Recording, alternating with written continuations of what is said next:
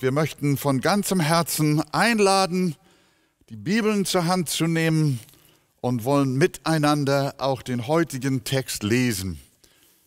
Und als er in Bethanien im Hause Simons des Aussätzigen war und zu Tisch saß, kam eine Frau mit einer alabasternen Flasche voll Salböl, echter köstlicher Narde, und sie zerbrach die alabasterne Flasche und goss sie aus auf sein Haupt.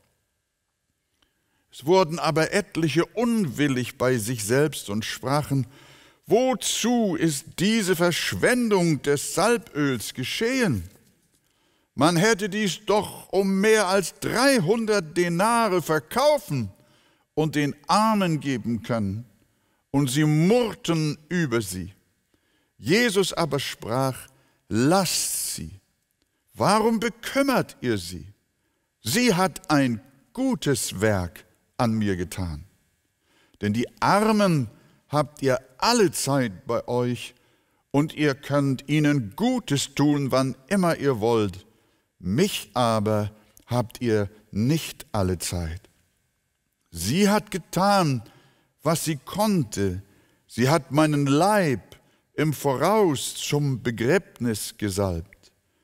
Wahrlich, ich sage euch, wo immer dieses Evangelium verkündigt wird, in der ganzen Welt, da wird man auch von dem sprechen, was diese getan hat, zu ihrem Gedenken.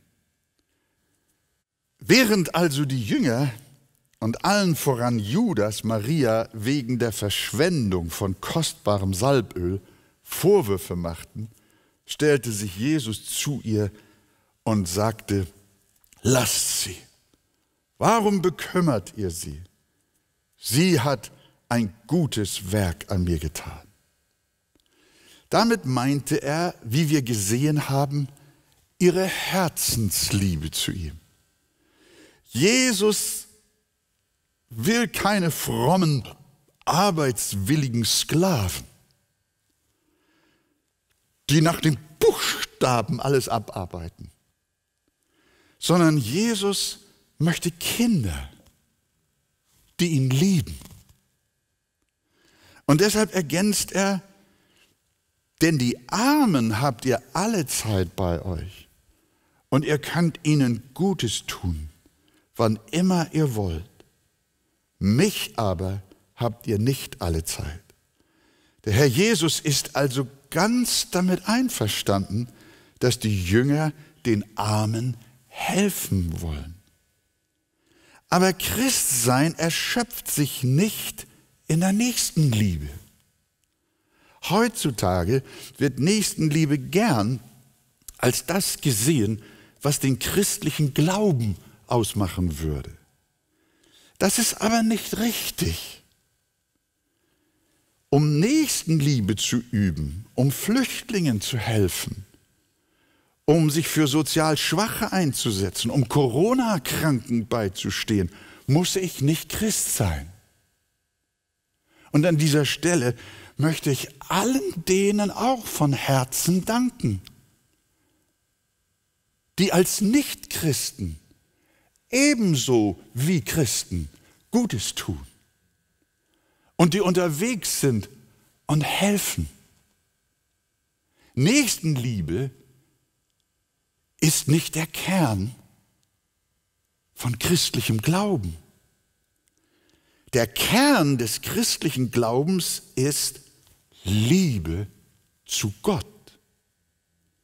Darum heißt es, hören wir, was Jesus sagt, Markus 12, Vers 30, du sollst den Herrn, deinen Gott lieben mit deinem ganzen Herzen und mit deiner ganzen Seele und mit deinem ganzen Denken und mit deiner ganzen Kraft. Das ist das erste Gebot. Damit fängt christlicher Glaube an. Das erste Gebot. Du sollst den Herrn, deinen Gott, lieben. Diese Liebe zu dem Herrn, deinem Gott, diese Liebe zu Jesus, deinem Erlöser, kommt als erstes. Und erst dann heißt es, Und das Zweite ist ihm vergleichbar, nämlich dies. Du sollst deinen Nächsten lieben wie dich selbst. Nummer eins, Liebe zu Gott. Nummer zwei, Liebe zum Nächsten. Und damit ist klar, woher sich christliche Nächstenliebe speist. Aus der Liebesbeziehung deines Herzens als Christ zu Gott und deinem Vater im Himmel. Wenn wir ihn lieben, dann fließt daraus ganz natürlich auch die Liebe zu den Armen. Aber es beginnt mit meiner Hingabe zum Herrn. Denn vor Gott gilt nur das, was aus Liebe zu ihm getan wird. Aus seiner Sicht, selbst wenn wir unseren Mitmenschen das Allerbeste tun, dabei aber Gott hassen und ihn verwerfen, dann nützt unsere Nächstenliebe nichts.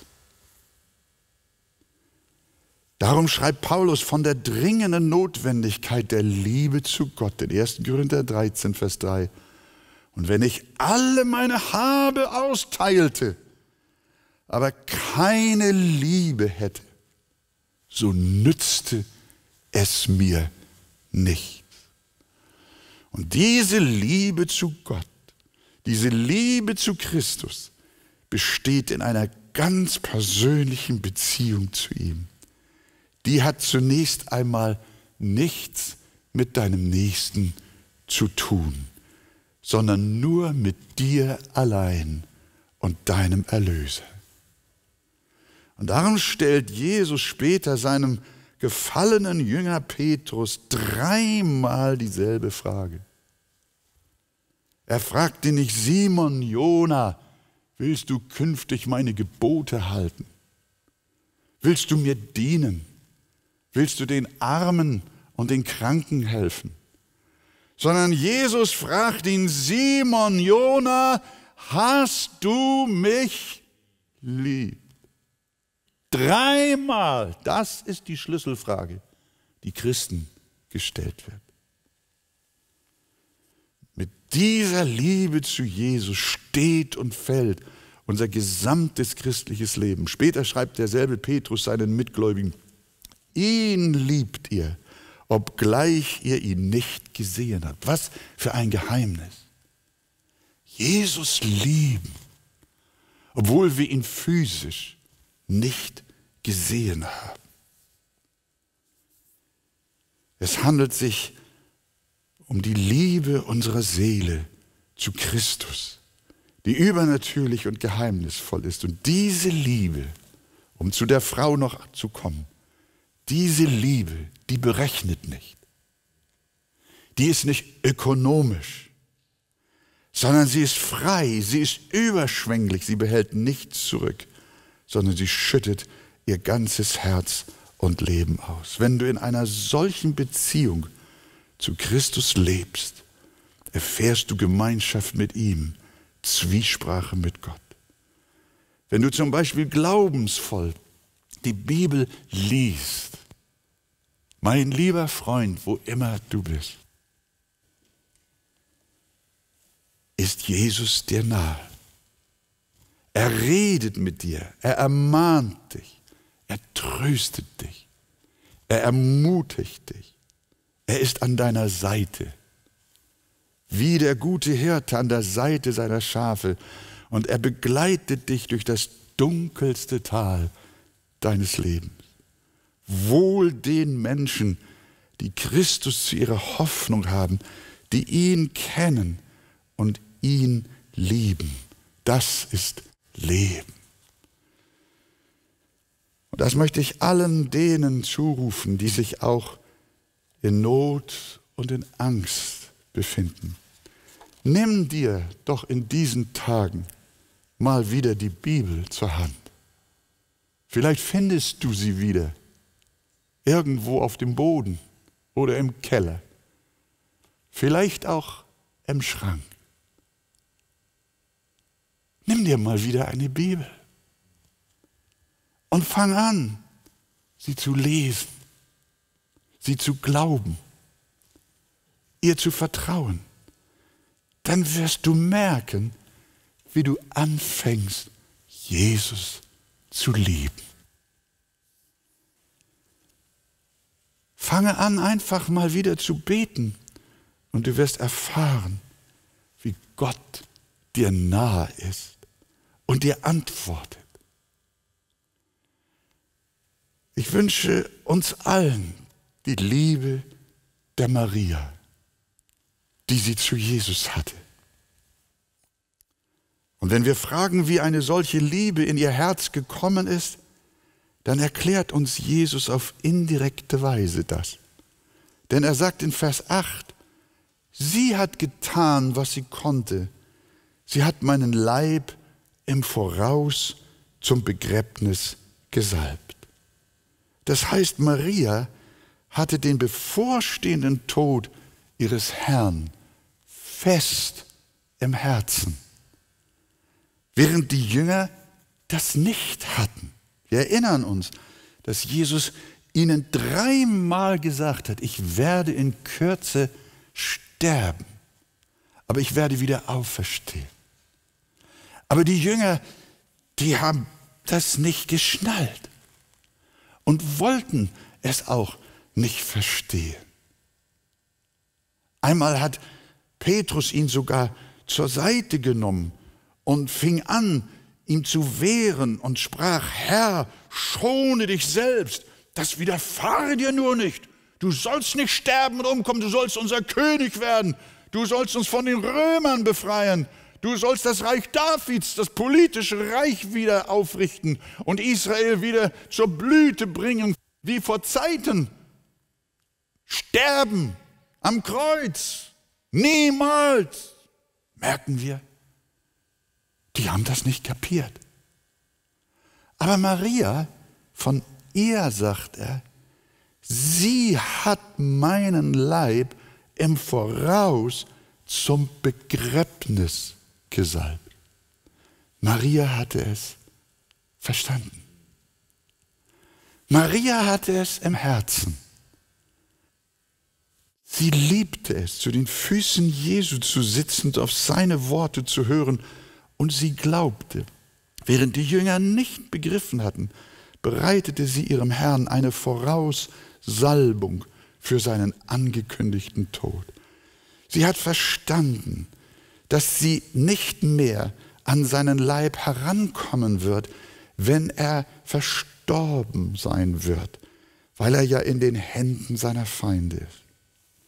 Und als sie hörte mit den anderen Frauen, wo sein Grab ist, ging sie früh am Morgen hin, um vielleicht dann doch noch eine ordnungsgemäße Salbung des Leichnams Christi vornehmen zu können.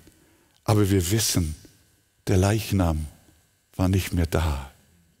Der Engel sagte, er ist nicht hier, Christus ist nicht hier, denn er ist auferstanden, wie er gesagt hat. Kommt her, seht den Ort, wo der Herr gelegen hat. Da hat Maria wahrscheinlich gesagt, wie gut, dass ich ihn vor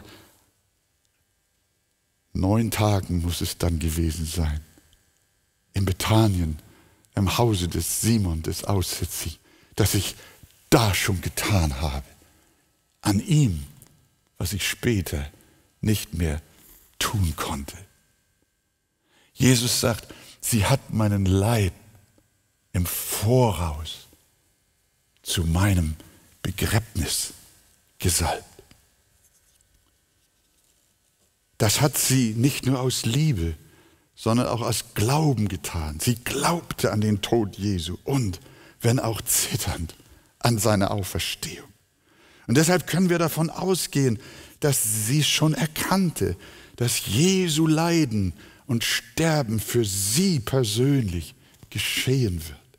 Sie erkannte, dass Jesu vor ihm liegender Weg ihre persönliche Errettung bedeutete. Sie glaubte, dass Jesus wegen ihrer Sünden für sie sterben wird. Sie hatte schon ganz früh das Evangelium verstanden.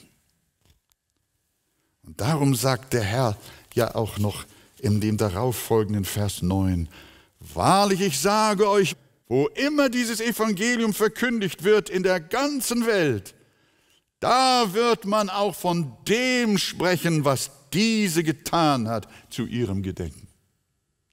Maria, sagt Jesus, wird zu einem Synonym für das Evangelium. Sie ist eine wiedergeborene Seele, die ihren Herrn und Erlöser Jesus Christus geliebt hat, ehe er gestorben und auferstanden war. Aber sie wusste schon, dass er es sein wird, der den Preis für ihre Sünde und Schuld bezahlt, um ihr für immer das ewige Leben zu geben. Maria, welch eine Liebe, welch einen Glauben an Jesus Christus. Auf welcher Seite möchtest du stehen? Auf der Seite der kritischen Jünger? Möglicherweise sogar noch auf der Seite des Judas. Bitte nicht, bitte nicht. Sondern steh auf der Seite der Maria und suche von Herzen deinem Erlöser zu danken, ihn zu lieben. So erinnern wir uns heute an sie, die Schwester des Lazarus, wie sie schon im Vorhinein im Glauben an das Evangelium ihres Herrn gelebt und ihn geliebt hat.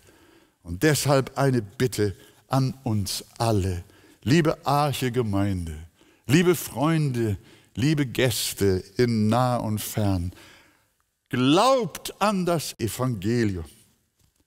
Glaubt von Herzen daran, dass Jesus für eure Sünden ans Kreuz gegangen ist und dort die Strafe getragen hat, die eigentlich wir verdient haben. Glaubt an Jesus Christus, dass er deine Vergebung der Sünden für dich erworben hat. Dankt ihm von Herzen für seine Erlösung. Dankt ihm, dass ihr durch ihn Kinder Gottes werden durftet. Schüttet nicht das teuerste Parfüm über ihn aus, aber eure Herzen. Weiht ihm euer ganzes Leben und liebt ihn, bis ihr ihn seht von Ewigkeit zu Ewigkeit. Gott segne uns. In den letzten beiden Predigten haben wir von Maria gehört, die eine Flasche Salböl über Jesus ausgoss. Uns mag solch eine Handlung heutzutage merkwürdig erscheinen, aber ihre Motivation hinter dieser Tat war Liebe. Christian, was können wir aus dieser Begebenheit lernen? Ja, also ich glaube, die Maria ist uns da ein sehr, sehr gutes Vorbild, was unsere Liebe zu Jesus angeht. Mhm. Wir haben gehört, der Wert dieses Öls soll ja ein Jahresgehalt gewesen sein. Ausdruck, dass sie eine Liebe zu Jesus hatte, die nichts zurückgehalten hat.